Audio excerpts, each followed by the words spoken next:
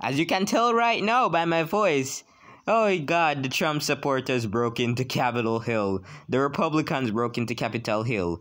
If you don't know what I'm talking about, basically millions, millions of Republicans, millions of Trump supporters, millions that were at the rally have gathered outside Capitol Hill. Like they, they legit broke in. And you might be thinking, how how how was the how is breaking into Capitol Hill possible? And that's what exactly what I am thinking. There are mil what there are thousands of armed guards, literal guards with guns. How you, and yet still, at least thousands of them got past the guards, and they're on the east wing. Uh, they're literally on the east wing of Capitol Hill. Did they scale the fucking wall or something? There is nowhere on that wall to grasp. How the hell did they break in?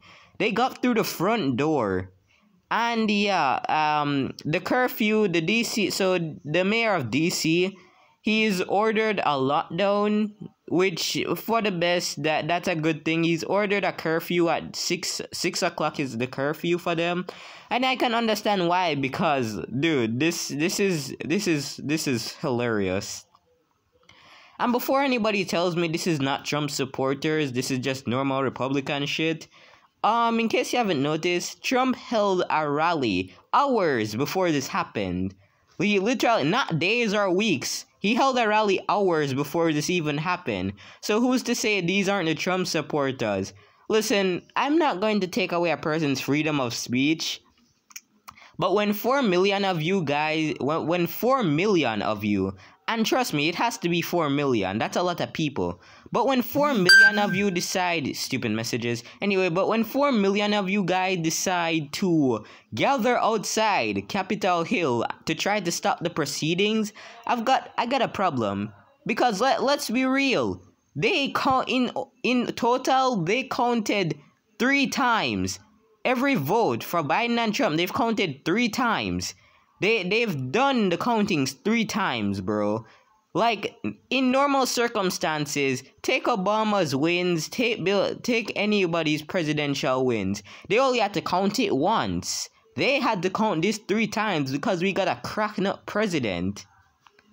Like, bro, the, the, this is why I guess that guy who said Trump was still going to cause chaos after this, I, I guess that guy was right because Jesus Christ, 4 million of them are outside, and thanks to this, they have to call in reinforcements.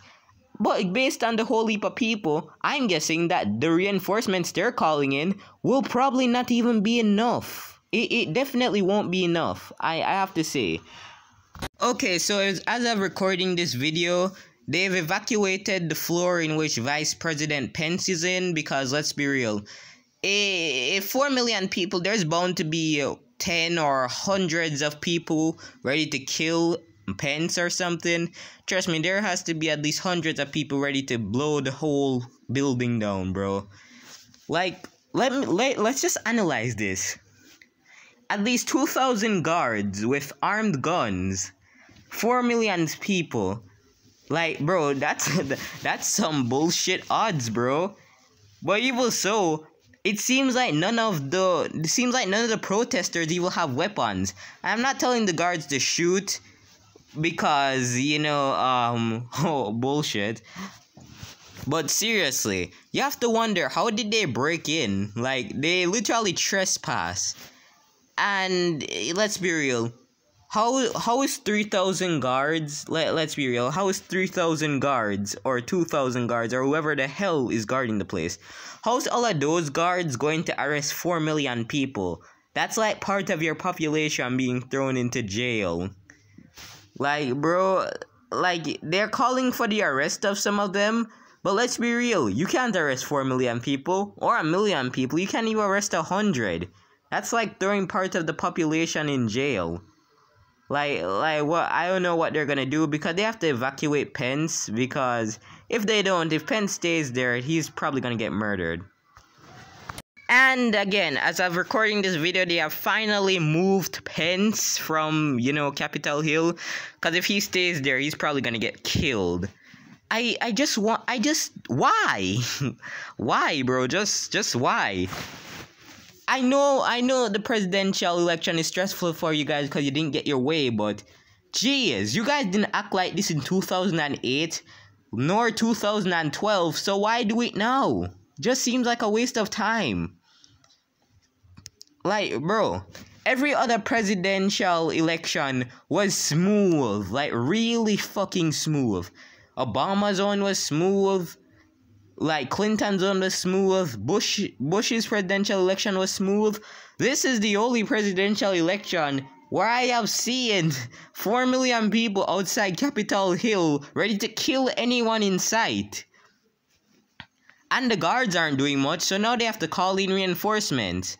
Trust me, you're gonna, but not even, but even calling reinforcement, it's not like reinforcement is gonna help. You call in hundreds of thousands of guards, that won't help. There are 4 million people against hundred thousands of police officers or whatever.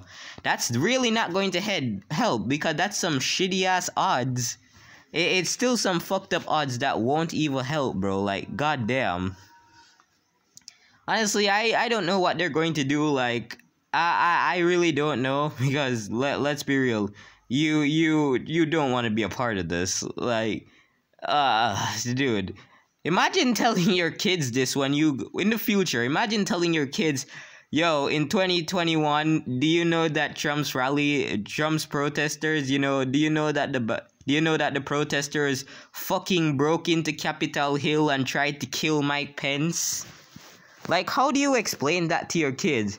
How do you explain how or why they decided to break into Capitol Hill? Like, how do you explain this to children? They fucking broke into Capitol Hill and they tried to kill Pence? Like, like, seriously. I, I, I don't know what's going on here. Like, I, I'm genuinely confused. Seriously, every other presidential election, every single transitioning was really smooth. Like it was the easiest transition. Then you get to 2020 and 2021 and then you realize this is bullshit. 2020 has been nightmarish hell.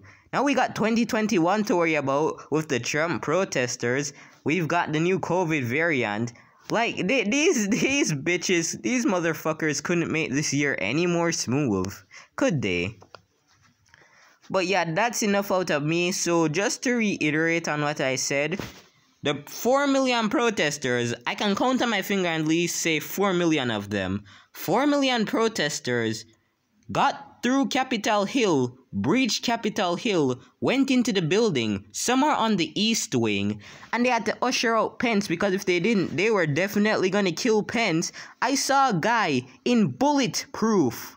I saw him in a bulletproof vest. Like, it, you don't come in a bulletproof vest unless you're there to kill. So it's obvious some of them are there to literally kill who's ever counting the votes. Ah, but that's enough out of me talking. I'll I'll update if anything else happens by tomorrow. As I said, I've got school and everything, which I forgot to say. I have school, so I won't be able to update on anything, but if anything good happens, I'll probably update later yeah, so see you later, guys.